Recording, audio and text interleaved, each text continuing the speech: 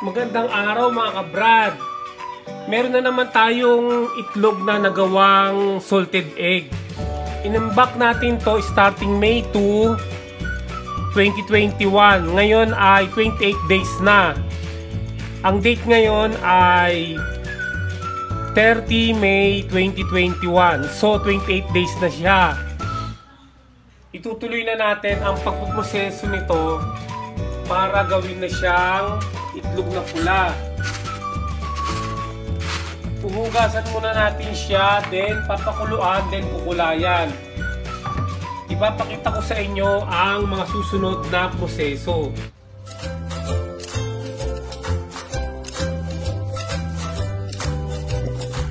Tanggalin muna natin ang tubig niya, ang salt and water solution.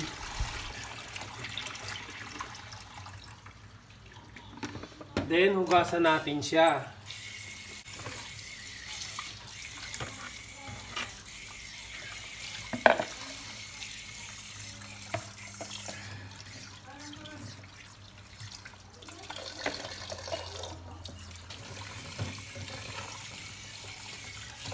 Bali, 28 piraso lahat ito.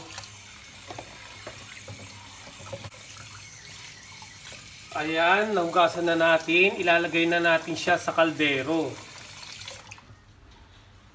Ilalagay na natin siya sa lutuan ito.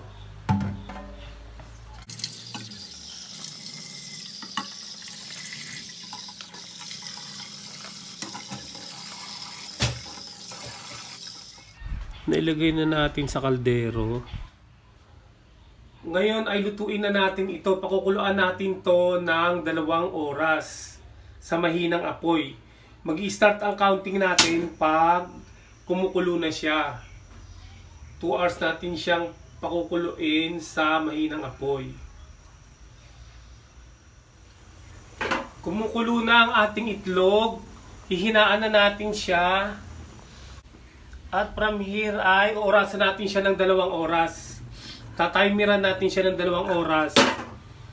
Ayan, tatakpan natin. Tumunog na yung alarm, papatayin na natin. Ayan. At antayin natin lumamig. Ito na yung nilaga natin na salted egg. Tatlo yung nabasag, mga kabrado. Basag. Ito pa basag oh. At ito may lamat din.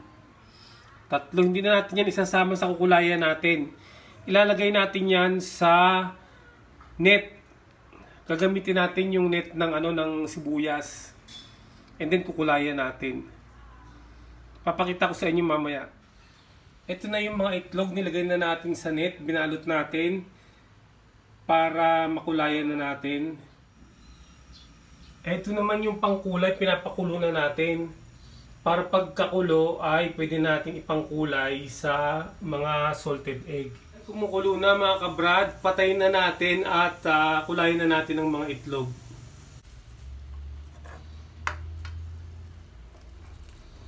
Ayan, dinidip na natin. Dahil sa hindi siya masyadong malalim, ay gagamitan natin ng sandok para paliguan natin ang mga itlog. Ayan.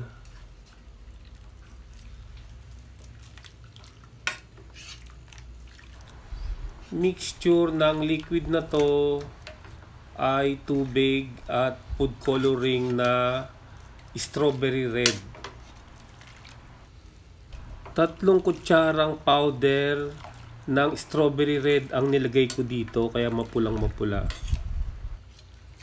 Ayan, kasalukuyan na nating kinukulayan ng itlog ang salted egg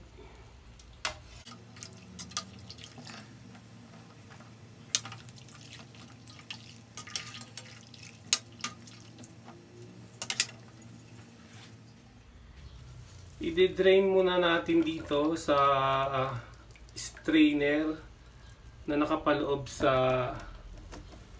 planggana yan. Ayan. Papatuin na natin dyan. Tapos na, nakulayan na natin ang ating itlog. Ngayon ay titestingin na natin. Tingnan natin kung uh, tamang-tama ang pagkagawa natin. Pinunasan ko sila para mabilis na matuyo. Kaya medyo makintab. Okay, testing number 1. Wow, ang daming mantika. Oh, kitang-kita nyo ba, mga kabrad? Ayan. Testing number 2, random ang pagkuha natin. Ito, number 2.